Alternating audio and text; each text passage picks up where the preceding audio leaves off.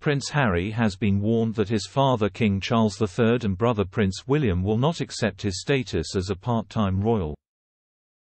The Sussexes' arrangement since stepping down from royal duties in 2020 has been a source of contention.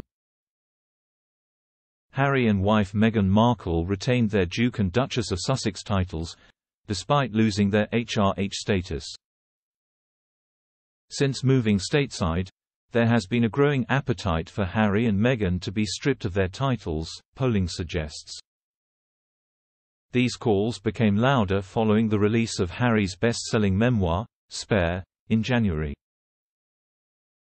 According to Tom Quinn, author of Gilded Youth, an intimate history of growing up in the royal family, King Charles and Prince William aren't best pleased with the current arrangement either.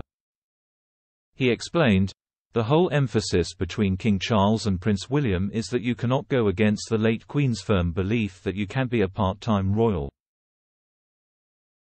Mr. Quinn continued, You can't hobnob with celebrities in America for six months and then come back here and pick and choose which events you want to be part of. I don't think Charles and William will agree to that simply because Elizabeth hated the idea.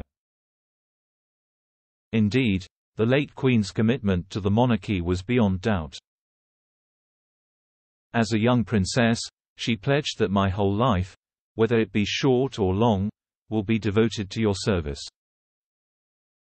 She would go on to endear herself to the British nation with 70 years of public duties.